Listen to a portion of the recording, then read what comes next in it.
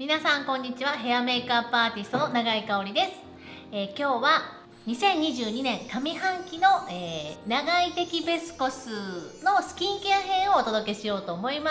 す。クレンジングから洗顔そして日焼け止めなど本当にいろいろ悩んだんですけれども、えーと、皆さんにぜひご紹介したい。そして私が個人的に大好きだというアイテムだけを厳選しましたので、えー、ぜひ最後までご覧ください。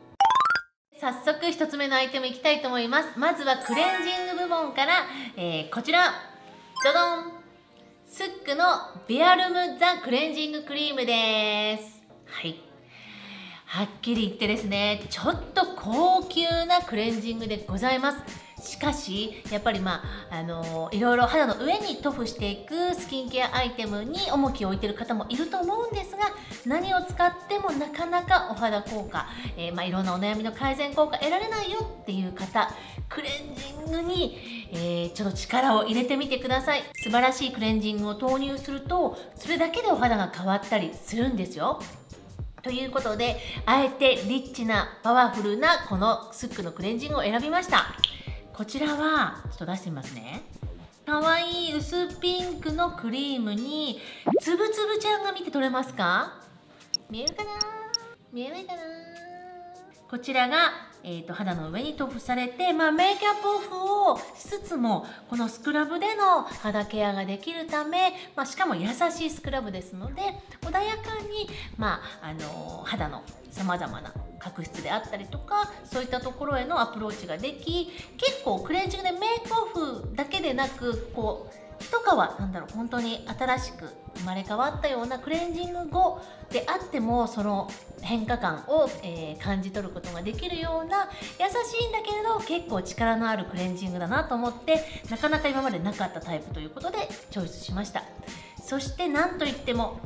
このスックの最高峰ラインビアルム。のこの品格のあるスックの香りを嗅ぎながら優しいつぶつぶちゃんとともに結構なんか心穏やかにそして前向きな気持ちでクレンジングタイムに臨めるなっていうところもなんかいいなというふうに思いましてあのチョイスしました。じゃあ次は洗顔部門です。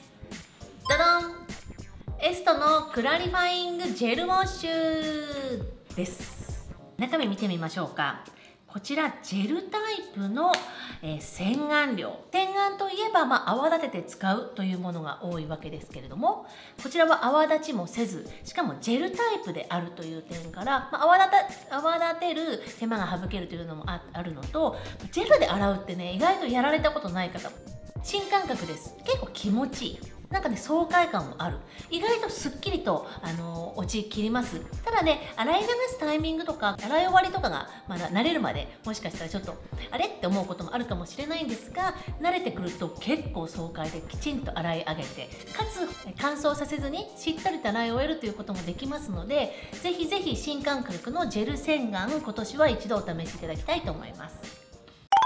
じゃあ次は日焼け止め部門いきます、えー、ラローシュポゼの UV レア XL プロテクショントーンアップのクリアです。本当に今年は素晴らしい UV が豊作でしたのでちょっとね選ぶの大変でしたがやはり、えー、これだけさっぱりとしたテクスチャーでありながらきちんと保湿力も保ちそして SPF50 プラス PA4 プラスの、まあ、最強である。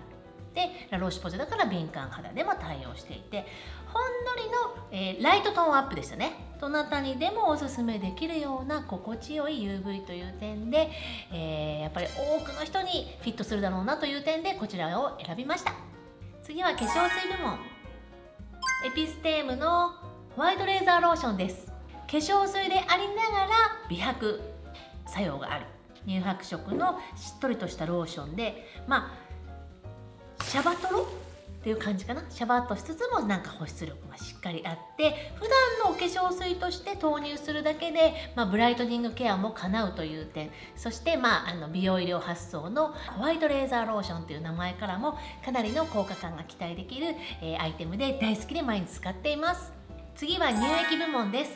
じゃん。コスメデコルテのイドラクリニティコンディショニングトリートメントソフナーです。こちらはですねコスメデコルテから、え、デビューしたイドラクラリティという、えー、新ラインになるんですけれどもコスメデコルテとしては比較的買いやすいお値段の、えー信頼になります。本当に軽やかな、えー、乳液でしてやはりこれからの季節本当に気持ちいい乳液になっています。肌調子がいまいちだななんとなくごわついてるなという時そしてちょっとだけまあ暑い季節になってきますが乾燥が気になる時に、えー、洗顔の代わりに朝ねコットンにこの乳液を出してそれでお顔を拭き取るなんていうことをたまにやるんです。すごく心地よくって、えーと、メイクのりもよく肌にツヤが出るような感じでちょっと裏技的にやったりもしています。そういった長井流の拭き取りなんかにも、えー、チャレンジしてもらえたら嬉しいです。次は美容液部門です。ドドン。ランコムのレネルジー HCF トリプルセラムです。ランコムの、えー、美容液が出るたびにもう私はいつも虜になってしまいます。憧れのブランドでもあるし確かにお値段もいいものが多いんですが今回もまたいいものが出てしまいました。これすごいんだよ。トリプルセラムということでこれ3層になってるの分かります？ほら色が違うじゃん。一押しで3つの美容液が出てくるの。トリプルセラムよ。でミックスしてお顔につけるわけです。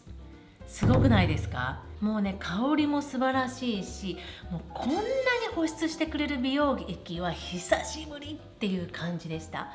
春夏であってもやっぱり大人のお肌乾燥しますし冷房のこともありますのでやっぱり1年を通して乾燥対策が大切になってきます。なんといっても高い保湿力。これを朝使うだけでもメイクにパチパチのツヤが出る。パチパチ。すごいツヤが出ます。そしてうーん何て言うのかな。もう本当にね肌が内側から元気です。元気じゃない時も元気ですっていう感じに一瞬で、えー、してくれるんですよ。シワケアもできますしシミケアもできるということで本当にマルチに働きかけてくれる、まあ、エイジングケア美容液でありますが、まあ、少しリッチなお値段だけど絶対的に肌がもうしぼんで何やっても元気が出ないっていう時はね投入してほしいなっていうふうに思います。もう大好きな、え、美容液で必ず使っています。はい次はクリーム部門です。じゃん。繊細 AS イルミナティブクリームです。れももうポワーンですよ。この香り本当になんかもう本当に嫌なことがあってもなんかもう元気出ちゃうっていうような感じのまさにアゲアゲの香りなんですが本当ね保湿力も素晴らしいのですが、えー、これも、えー、シワ改善そして、えー、シミケアというところの両面に、え作用してくれる頼もしいアイテムとなっています。こちらも一見滑らかでこう軽やかに見えますがかなりこっくりと肌の上に密着して、えー、程よい膜感を残し翌朝まで、えー、ずっとこの保湿力を保ちながら、えー、しっとりと肌をキープしてくれるアイテムになります。ブライトニング作用というとちょっとライトめのテクスチャーを想像しがちですがこっくりと朝になっても肌の仕上がりはもちペトっていう感じの、えー、クリームになっています。やっぱりこれから暑くなる季節にその少し重ためのクリームに対して心配する方がいるかもしれません、えー、私は、まあ、あの汗もかきやすい季節なのでスキンケアを終えて少し時間を置きます。そして本当に寝る前のお肌に、えー、最後に、えーと、その時のまあて言うのかな自分の乾燥度合いとか、えーと皮脂の感じに応じて量を調整しながらつけています。えー、大人の方でしたらやっぱりあの夏場であってもクリームを使いたいなっていう方いらっしゃると思います。そういう方にはぴったりですし皮脂の気になる、えー、ような年齢の方でしたらあの部分的に T ゾーンは量少なめなどという感じで調整してみてください。次は、えー、アイクリームムーンです。NARS ライトリフレクティングアイラッシュジェル。アイクリームと言いますとやはり乾燥しやすい秋冬の時期を連想しますし春夏のアイクリームってどんなものを選べばいいのって思う方もいると思います。ご安心ください。こちらジェルっていう風に名前がねついているように軽やかなジェル状のアイクリームなんです。ですから春夏のまあベタベタつきやすい季節であっても目周りに軽やかに塗布できる本当に心地よいアイクリーム。そしてこれのすごいところはアイラッシュジェルということで、え、目元付近はもちろんまつげにまで使用できまつげの張り越しが期待できるというようなアイテムなんです。すごいですよね。なんか嬉しいですよね。やっぱりアイクリームやるとまつげにもついちゃうしね。同時にまつげへのそういったあの作用を与えてくれるというのはすごく嬉しいです。なんか湿度がすごい高くてアイケアとか目周りの小さな小じわにまで意識がいきにくい季節にやっぱりやれる人とやれない人で差が出てくると思う。やっぱり軽やかなものをチョイスしてやっておくと来たる秋冬にやっぱり乾燥しにくいし小じわに悩みにくい肌になってると思うよ。それではリップケア部門です。サボンのリップポリッシャーです。これはリップスクラブと言われるアイテムになります。え唇のまあガサガサを、え除去してプルンとしたリップに、え整えていくアイテムがこのスクラブになりましてヴィーガン処方の優しい材料でありながらきちんとパワーを持って角質を、あの剥ぎ取ってくれるアイテムになります。やるところをお見せしますね。直接、え乾いた唇に指に取ったスクラブでこんな感じでうんちょっとドロドロが入ってますこのドロドロで唇の、えー、めくれた古い角質なんかをこういう風になっちゃうな。こういう風になっちゃうなしっかりとねドロドロを感じながら当ててきます。こういう風になった唇表面もそうだし唇のこのエッジの部分もちょっとザラザラするじゃない？ここも一気にやっちゃいます。このままちょっと放置してその後、えー、拭き取るというのがリップスクラブの使い方になります。そんなに力を入れずともこの優しいスクラブが肌の表面を、えー、こうやってな行き渡ったらもうひまりです。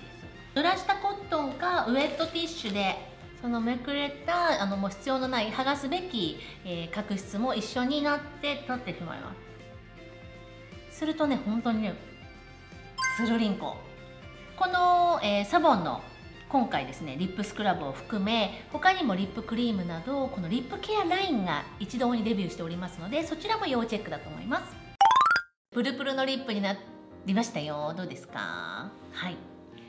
いかがでしたでしょうか？えーと、と今日ご紹介したものいつもの,、まあ、あの使っているえ洗顔やクレンジングでしたらスイッチしてみるのもいいですし、えその他のスキンケアアイテムでしたら普段のスキンケアラインナップに、え1品投入してみるというのもありだと思います。またあの全然お持ちでないような面白いアイテムもあったかと思います。是非皆さんのスキンケアルーティンにマッチするようなものあの見つけてお試しになってください。今日の動画が良かったよと思ってくださった方はグッドボタンお願いします。そしてコメントもお待ちしております。チャンネル登録もよろしくお願いします。それではバイバーイ。